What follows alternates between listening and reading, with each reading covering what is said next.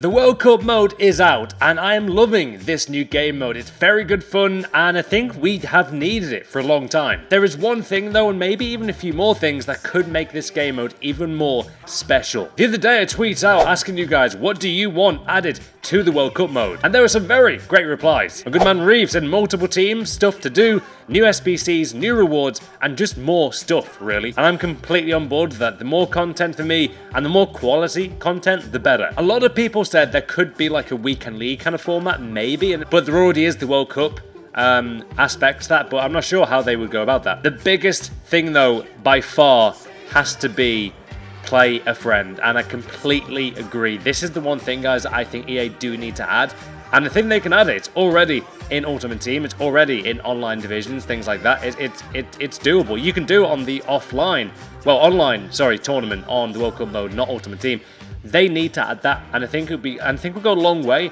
to show that you know EA have listened to all, all of us as a community, and it'd be great. We have actually created a uh, yeah play a friend tab there, as you can see in the bottom left, but it would be in Ultimate Team. Also, probably the most hilarious Frenchman of all time. I am French. Said create multiple teams, be able to send duplicates directly to SBCs, and playing against a friend is cool for those with friends. I'm French never lets me down. So for me, I think EA definitely need to add the option to play a friend on Ultimate Team of the World Cup. Having the option to create multiple squads is a must. I really, really want that. The other day in stream, I think about spent maybe about £40, um, which for like, you guys know in the past, I've, I've spent like a thousand pound on packs and in Ultimate packs and haven't got something insane. Yet in this game mode, I've seen it where people spend like 20 quid and they've got some of the best players in the game quite easily.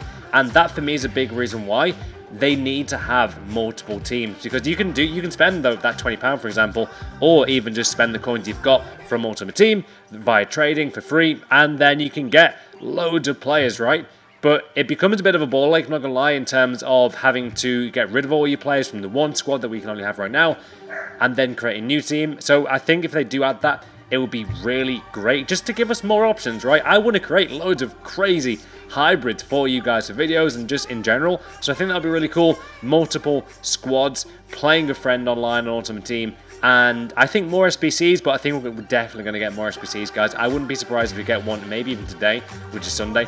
Um, yeah, comment down below what you want added to the World Cup mode. I'm going to send this to EA as well, and hopefully we get some amazing comments in the comments down below. If we get 5,000 likes in the first hour, that will be insane.